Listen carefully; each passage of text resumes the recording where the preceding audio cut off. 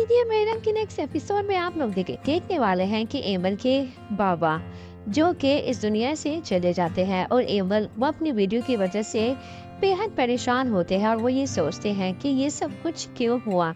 और ऐसा नहीं होना चाहिए था। सोनाज नास्तिन आप लोग देखेंगे कि ये ड्रामा सीरियल बहुत इंटरेस्टिंग हो चुका है।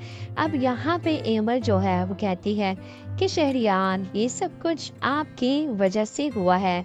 आपकी वजह से हमारी जिंदगियाँ पूरी तरह से बर्बाद हो गई।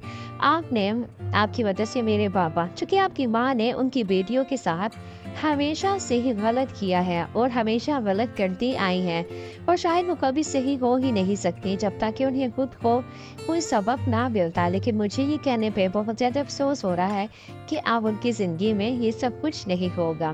जितनी आप लोगों ने मनमानियाँ करनी थी, वो कर ली है। नसीर, आप लोगों को ये सब कुछ करने का मौका नहीं दिया जाएगा। वीडियो पसंद आई तो